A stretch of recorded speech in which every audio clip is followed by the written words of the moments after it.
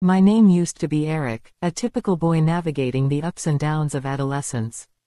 Little did I know, life was about to take an unexpected turn. It all started when my mother decided that turning me into Erica was a fitting punishment. I often find myself sitting on the steps, pondering the peculiar twist of fate that led me here. Just a few months ago, I was Eric, playing video games, hanging out with friends, and oblivious to the impending change that would redefine my entire existence. The transformation from Eric to Erica is a journey I never anticipated. My mother, convinced that altering my gender was the key to teaching me a lesson, orchestrated this unusual punishment. As I reflect on this perplexing situation, the reality of its permanence sinks in. Last week marked a surreal moment when I discovered the undeniable signs of my new identity.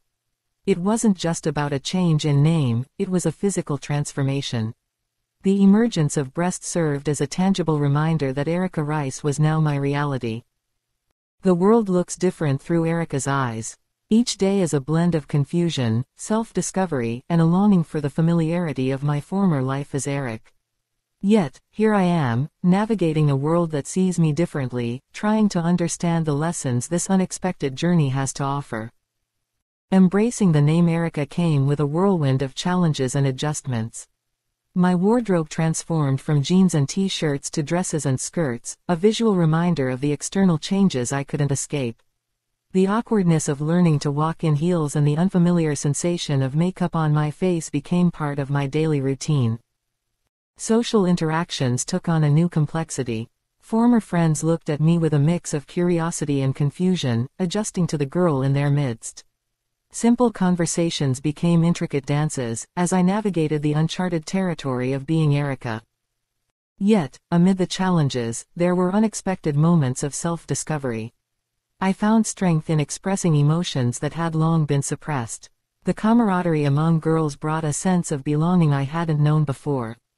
As Erica, I learned to appreciate the intricacies of friendships, the unspoken bond between girls sharing laughter and secrets. School became a microcosm of societal perceptions, and I faced both acceptance and prejudice.